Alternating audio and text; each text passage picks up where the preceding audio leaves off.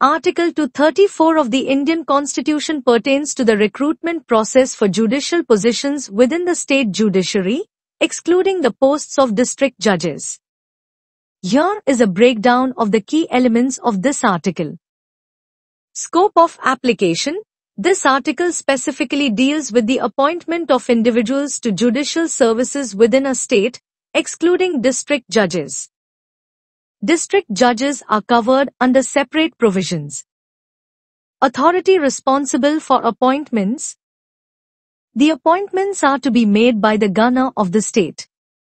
Consultative process. The governor must act in accordance with the rules established for this purpose. The process of making these rules and the appointments themselves must involve consultation with two entities. State Public Service Commission SPSC This is a constitutional body responsible for advising the state government on matters related to recruitment and conditions of service.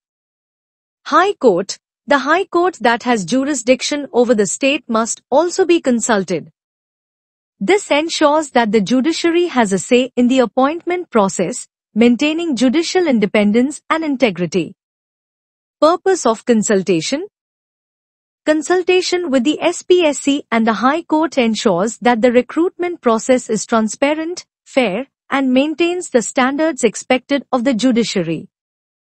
This consultative process aims to balance executive powers with judicial oversight to avoid potential misuse of appointment powers. In summary, Article 234 mandates that the recruitment of judicial officers, other than district judges, within a state must be conducted by the governor in accordance with rules made in consultation with the State Public Service Commission and the relevant High Court. This collaborative approach ensures a balanced and fair recruitment process within the judiciary. The Constitution of India. Part 6 The States. Chapter 6 Subordinate Courts Article 234 Recruitment of persons other than district judges to the judicial service.